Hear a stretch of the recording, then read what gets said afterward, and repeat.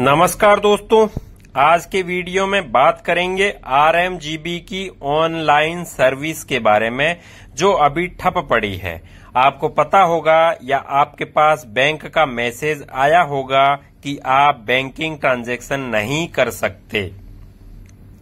आप आरएमजीबी की वेबसाइट पर देखेंगे तो आपको पता चलेगा वहाँ पर लाल अक्षरों में लिखा है due to technical reason NEFT RTGS IMPS UPI AEPS service are presently not available inconvenience is deeply regretted क्षमा मांग रहे हैं मतलब चालू नहीं है।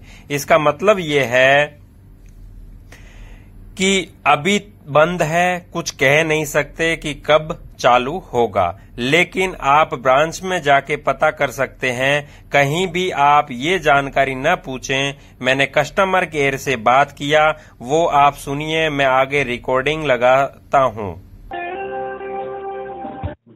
Welcome to farm services hello sir मैं देवाराम बात कर रहा हूँ। वो एक मैसेज आया था कि एनईएफटी और वो ट्रांजैक्शन होगा नहीं मैंने देखा तो ट्रांजैक्शन हो भी नहीं रहा है। सर क्या प्रॉब्लम है? सुनिए कौन सा बैंक है? R M G B R M G B sir सुनिए आपको नहीं सबको वही प्रॉब्लम आ रहा है। एक बार ब्रांच में जाके बात कीजिए ठीक है?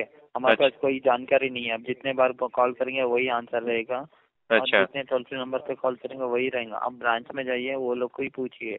बैंक अच्छा। को ठीक है? वो लोग अच्छा। बता सकते हैं सही टाइम कब तक ठीक हो सकता है। ठीक है? ओके थैंक यू सर आप सावधान रहें सतर्क रहें धोखेबाज इसी समय का इंतज़ार करते हैं। चैनल पर नए हो तो सब्सक्राइब ज़रूर करें ताकि ऐसे इन्फॉर्मेशन रिलेटेड वीडियो आप तक सबसे पहले पहुँचे। आज की वीडियो में इतना ही। आपका बहुत बहुत धन्यवाद।